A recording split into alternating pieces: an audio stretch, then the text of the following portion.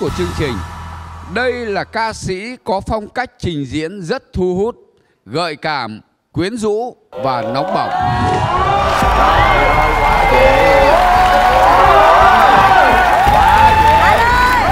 anh ơi Hỏi đi, Khả Ngân, Khả Ngân hỏi có đi. chỉ có anh có có có ba ba ba anh chị đều là ca sĩ luôn. Ba anh chị em em. của chị cẩm ly đấy. Ờ, em đẹp lắm để cho em khóc đấy. Anh ơi nếu không em yêu hát thì bài này thôi. có phải không nha? Ừ. đã không yêu thì thôi ta gặp nhau lên.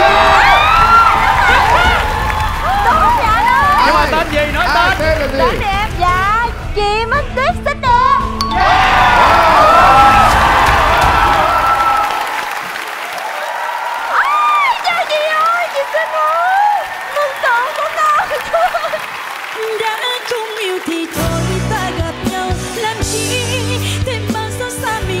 Sinh ra trong gia đình có truyền thống nghệ thuật, ca sĩ Minh Tuyết có hai người chị là ca sĩ Cẩm Ly và Hà Phương. Cô là con gái út trong gia đình có 6 anh chị em tại thành phố Hồ Chí Minh. Minh Tuyết sớm biểu lộ năng khiếu âm nhạc. Cô bắt đầu biểu diễn từ năm 14 tuổi.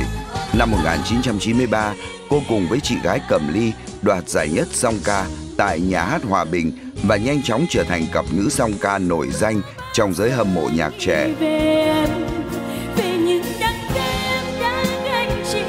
Tuy nhiên, vào năm 1997, nữ ca sĩ quyết định sang hải ngoại lập nghiệp và chỉ 3 năm sau đó, cô đã gặt hái được nhiều thành công và ghi dấu trong lòng người hâm mộ trong và ngoài nước.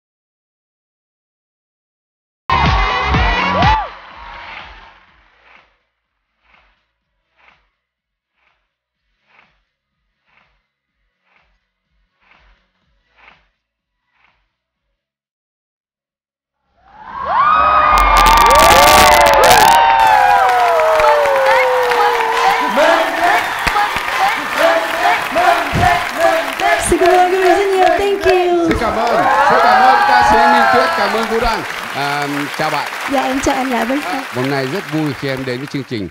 Anh nghĩ rằng là tại đây trên cái sân khấu này em bây giờ cũng đang có những ký ức nào đó, cái kỷ niệm nào đó muốn chia sẻ với quý vị khán giả nhân cái dịp này. Dạ, rất là hạnh phúc và rất là vui là bởi vì à, em đã từng xem chương trình này và em rất là thích và em là một trong những thần tượng của anh.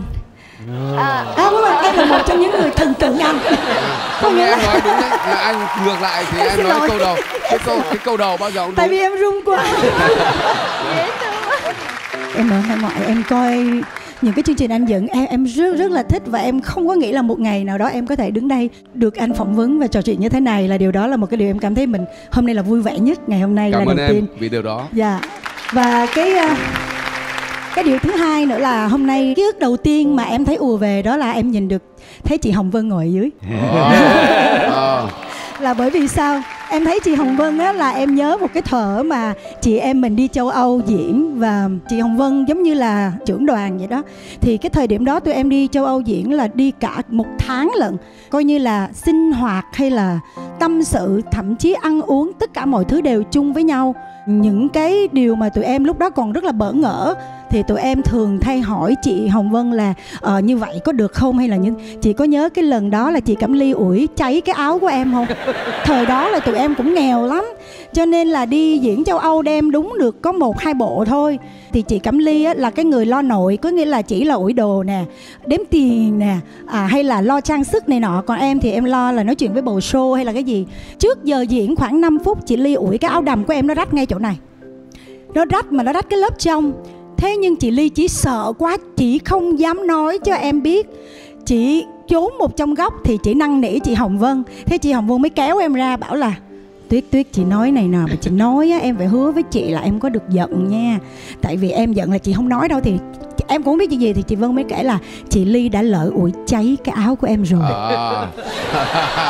đó là À, những kỷ niệm rất là kỷ niệm đúng không? Bây giờ nó ùa về đúng không? Trời ơi em với Minh Tuyết Cẩm Ly nhiều kỷ niệm lắm luôn Cái đợt đi châu Âu đó. Là em coi như đứng ở giữa đó. Hai chị em yêu thương nhau mà giận nhau hoài đấy à. là vào năm bao nhiêu? Em nghĩ là phải 27 28 năm Wow. rồi và bây giờ đột nhiên nó lại dội về vẫn còn nguyên si như ngày hôm qua hôm kia Dạ, tụi em ở cái chỗ bên Đức mà nó là cái vùng Beckham Ủa, um, uh, Istein á, nó gần Frankfurt á, anh là một cái làng đẹp, Đẹp, dễ sợ luôn. Nó như làng cổ tích về đó anh. Đó. Dạ và ừm, sau khi cái đoàn em ở gần một tháng thì tụi em thèm nước mắm và nước tương quá Thế là cuối cùng tụi em năn nỉ ông chủ của khách sạn hotel đó. Năn nỉ là chị em mình ập vào đi chợ xong đi chợ xa thiệt xa Mua được mấy chai nước mắm về trứng rồi này nọ. Ập vô xin ổng cái bếp làm ăn đồ ăn luôn. À. Dạ cho nên em nhìn chị Hồng Vân tự nhiên em nói ký ức nó ùa về dễ sợ luôn.